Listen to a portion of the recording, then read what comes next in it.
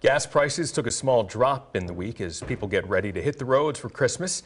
According to AAA, gas prices are 1 to 2 cents lower than last week. It's not a lot, but the national average is $3.31 a gallon. Pennsylvania's average price is higher at $3.55 due to state taxes. Here in the Midstate, AAA says Lancaster and Adams counties have the highest average prices at $3.57, with Perry County with the lowest at $3.49.